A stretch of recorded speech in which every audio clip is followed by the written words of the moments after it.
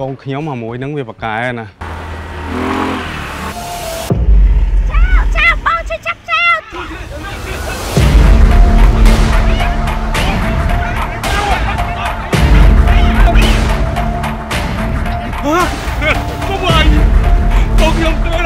គ្មាននរណាម្នាក់គួរទទួលរងការវាយធ្វើបាបឬសម្លាប់នោះទេ